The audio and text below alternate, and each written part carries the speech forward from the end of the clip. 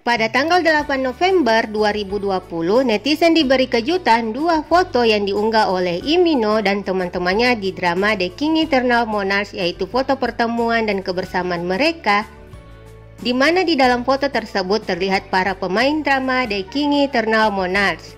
Ternyata mereka reunian, ada Uduhan yang kita tahu jika sekarang ia sedang menjalani wajib militer di mana wajib militer Uduhan dimulai pada tanggal 6 Juli 2020 berarti akan selesai di tahun 2022.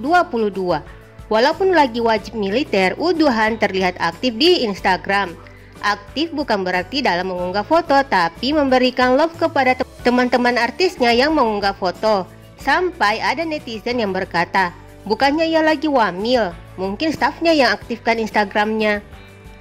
Terlihat kepala Wuduhan agak botak, tapi tetap membuat ia terlihat tampan, di mana biasanya para aktor selalu menutupi kepalanya saat mereka wamil. Mungkin karena wajahnya terlihat berbeda atau mereka punya alasan lain. Berbeda dengan Uduhan, ia terlihat santai bahkan terlihat lucu dan menggemaskan.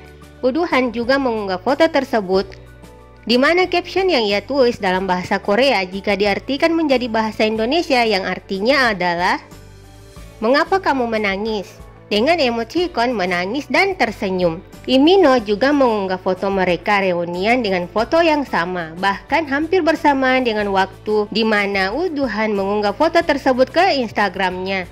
Di unggahan Imino banyak yang bertanya dengan mengomentari foto Mino dengan berkata, Kim Guun ke mana? Kenapa dia nggak ada? Permaisuri Raja mana? Kok nggak terlihat? Wah, ternyata yang foto itu Kim Go-eun. Perhatikan foto kedua. Wajah Kim Go-eun tertutup handphone saat moto. Saya ingin melihat wajahnya. Itulah beberapa komentar para netizen di unggahan Imino. Imino mengunggah foto tersebut dengan caption jika diartikan dalam bahasa Indonesia artinya adalah bersulang untuk kepalamu. Sangat lucu karena memang sangat jelas terlihat Imino mengangkat minumannya dan mendekatkan ke kepala Uduhan. Itulah kedekatan seorang raja dan kapten pengawal kerajaan. Semoga kedekatan dan persahabatan kalian selalu langgeng. Mimin cuma bisa doain. Kim Gun mengunggah foto mereka satu jam setelah Uduhan dan Imino mengunggah ke Instagram. Karena unggahan Kim Gun, para netizen akhirnya percaya dan rasa penasaran mereka akan keberadaan Kim Gun di reunian tersebut terjawab.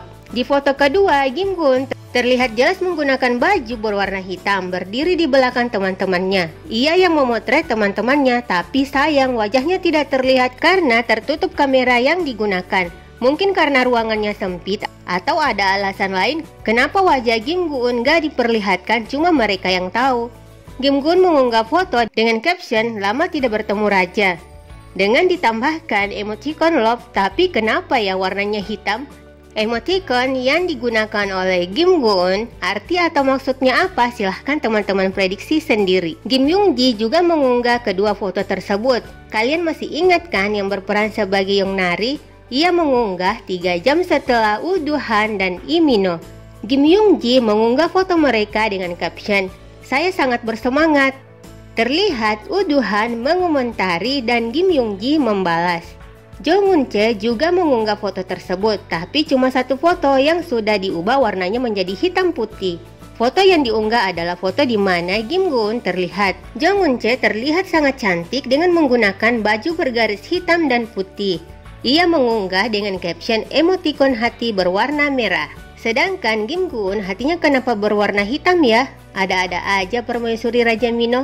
Kim Yong Nam juga hadir pada reunian tersebut. Tapi cuma dia yang tidak mengunggah foto mereka di Instagram pribadinya.